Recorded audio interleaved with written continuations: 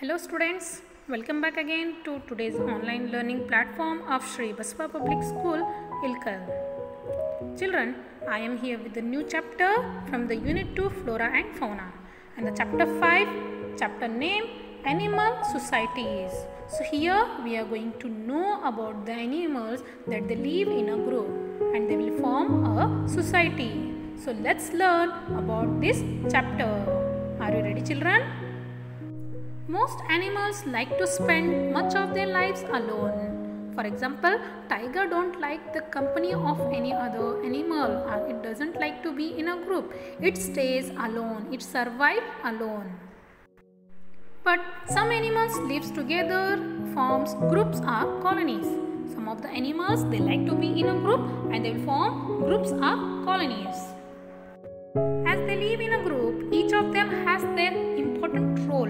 Important jobs in the group. They usually share their jobs such as finding food, warning of danger, protecting each other and helping each other. So these are the work of the groups as they live in a group. What they will do? They will help to find the food and also warning of the danger as well as they will protect and help each other. When they are in the problem, they will protect and help each other. Mostly insects, birds and mammals form such society. Mostly who will be in a group? Insects, birds and mammals.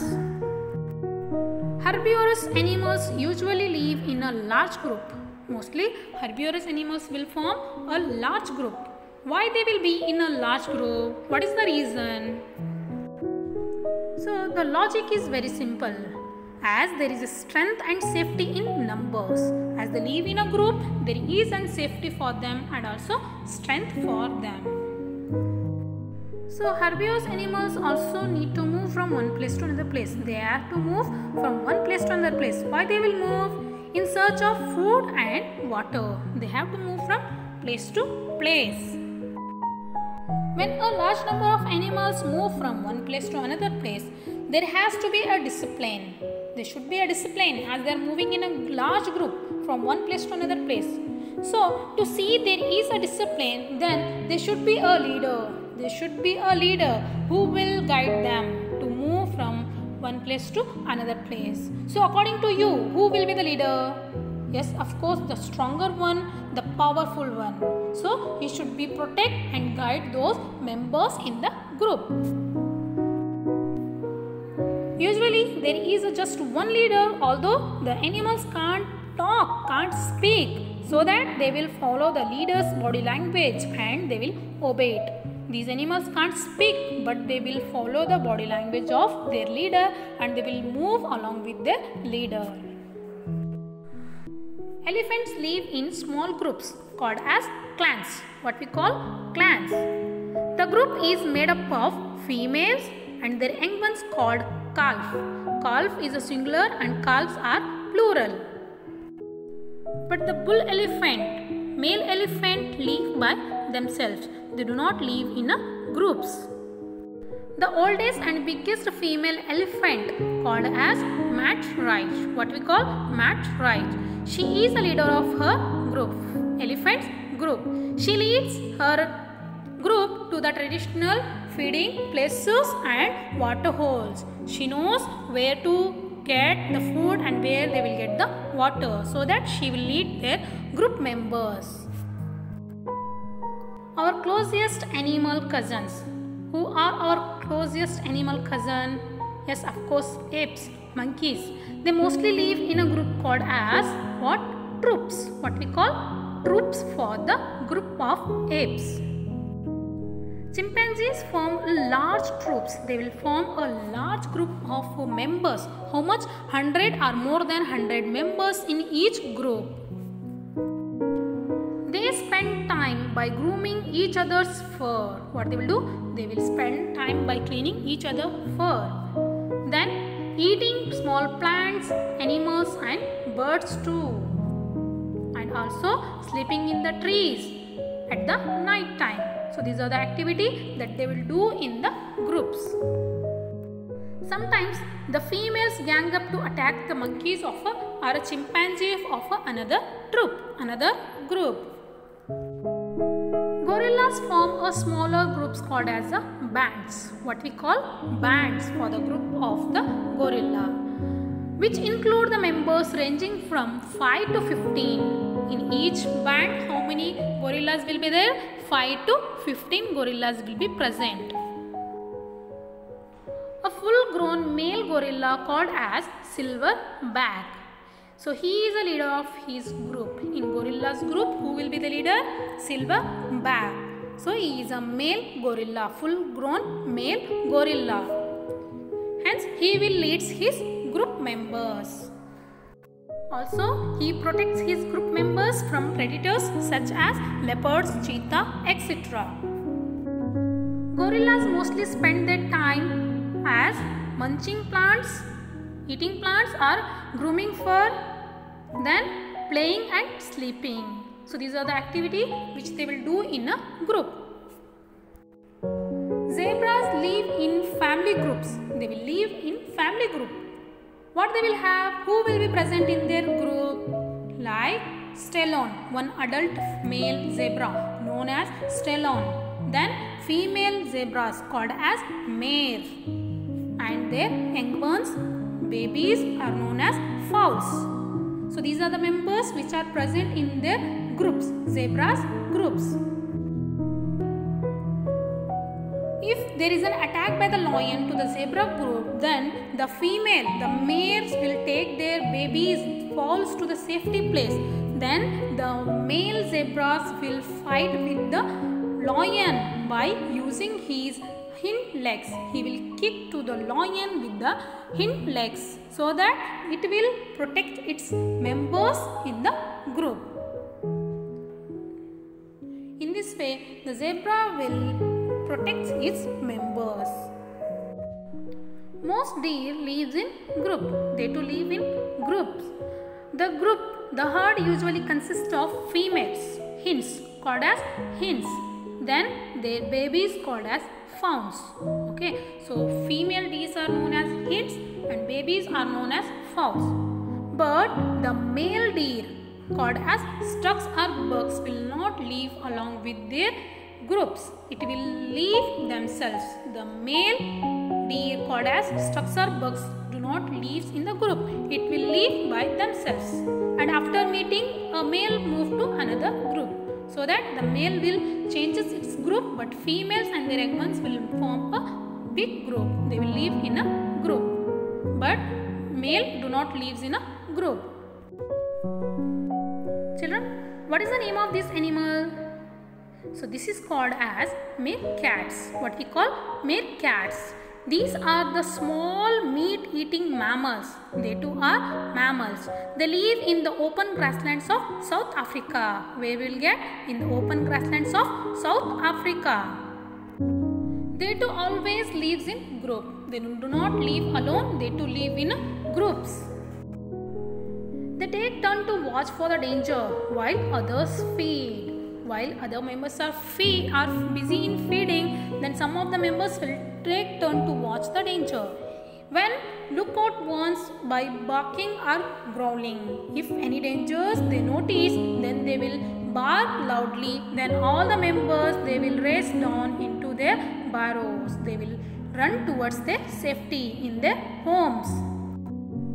Social insects like bees wasps termites and ants.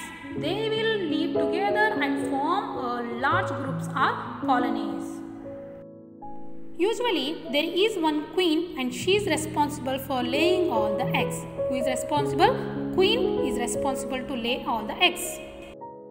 The workers who are all females do everything else including the building home. What they will do? Building home then guarding it and keeping it clean, even finding and stocking the food and also looking after the larvae etc. This is the job of females.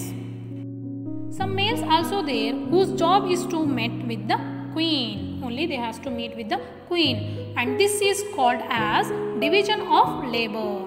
That is, the work is divided and each and every one carry out its own duties, own jobs. In relation to their size, termites build bigger structure than any other creatures. They will build very bigger home, bigger structures as compared to other creatures, other insects. They use grains of soil as a bricks and their own spit as a cement. Did you know children?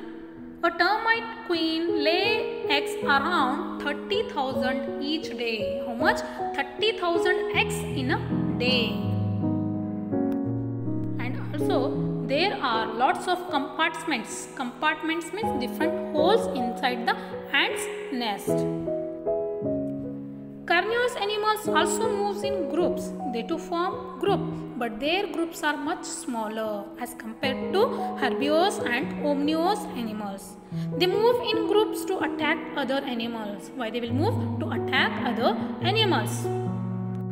For example, lion forms groups called as prides. Lion's group is called as prides. A pride consists of up to 6 females with cubs.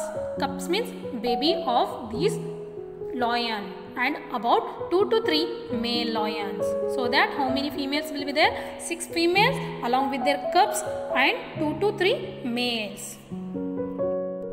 In the prides in the lions group, the female's job is to take care for their babies and also feed them. Even they too will take care for their babies from the any predators. The male lion is kingly hunt. He will kingly hunt the animal and also he is the first one to feed. He is the first one to feed the hunted animal. Even he is defend his pride. He defends the pride and also patrol. He guards his members and also his region very consciously. But tigers usually live alone. They live alone. Among aquatic animals, whales and dolphins live in groups. They too live in groups. Killer whales travel in uh, groups called as schools. What we call schools. They gang up upon much bigger whale, often a female and the calves who will be present in their group bigger whales, females and their babies called calves.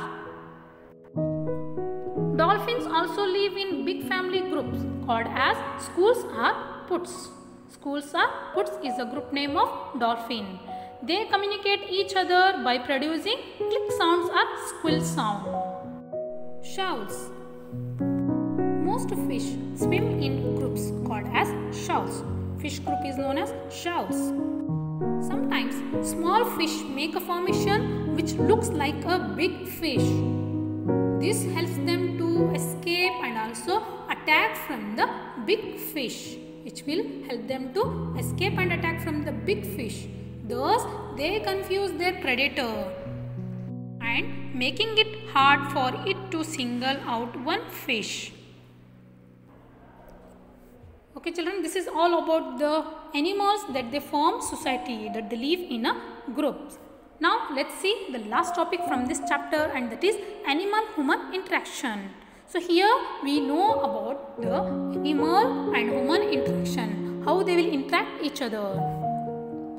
Most wild animals do not like human company. As we know, these wild animals do not like to stay with the human.